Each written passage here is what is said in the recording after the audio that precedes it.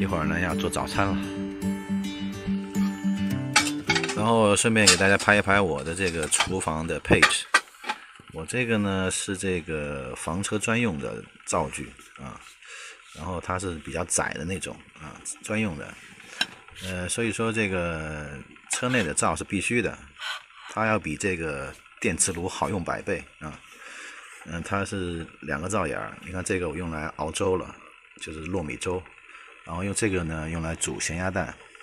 然后咸鸭蛋水呢还可以用来洗脸啊，所以不浪费。然后车外还有我的这个推拉灶，大家都见过很多次了啊，那是用来炒菜的。另外，我这个灶呢，它是带这个安全开关的，就是说，如果说火灭了，它会自动断气啊，所以很安全啊，也不贵，大概也就在六百多块钱吧，我记得这个灶。刚才我说它不贵呢，是因为它虽然说是六百多块钱啊，要比普通的家用灶要贵很多，呃，但是呢，因为它是两个灶眼啊，两个灶眼，而且是专门为这个房车设计的，它这个宽度啊，它这个宽度是窄的，窄窄框的啊。呃，你要用家用的，是不能放两个灶眼的啊，因为它太宽啊，太宽。呃，所以说在这个房车的专用灶里面，它算是最便宜的啊，而且也比较好用。这个呢就是推拉灶了啊，比起很多房车配备的那种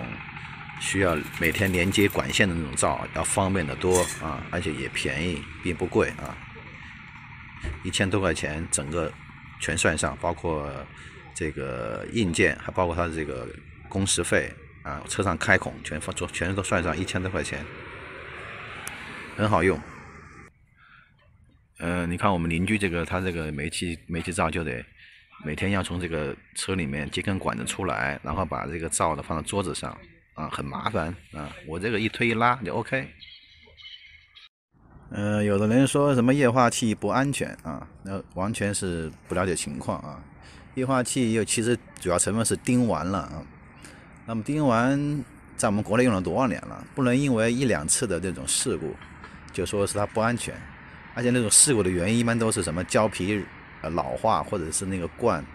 呃过呃过了那个安全期啊，所以这这个不存在啊，很安全的啊，用的时候只要车内保持一定的通风就 OK 了，没有什么可担心的。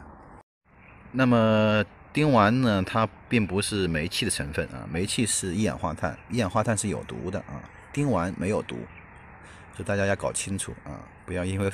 这个低级错误说这个丁烷会熏死人啊，不会啊，煤气会熏死人，丁烷不会啊。但丁烷的危险在于它它的可燃易爆啊，你只要控制好你的这个你的设备啊，比如你的罐体啊，在安全期内啊，你的这个这个用专业的这种液化气的这个管线啊。不会有什么危险啊，在保持良好的通风啊。这个是用来一会儿用来炸这个油饼的啊。翟叔还是一个厨艺高手啊。呃，这个是昨天炸完剩下的油，今天继续炸啊，是菜籽油啊。现在这个油温合适了啊，就可以用来炸油饼。我喜欢吃薄的，所以把它这个孔拉的比较大，然后配糯米粥，配咸鸭蛋啊，当配橄榄菜。美哉，怎么样？炸的不错吧？啊，注意炸的时候哈，要用这个这个木头啊，木头筷子，否则的话对身体不好啊。呃，这边的咸鸭蛋，当地咸鸭蛋是一块四一个啊，开吃。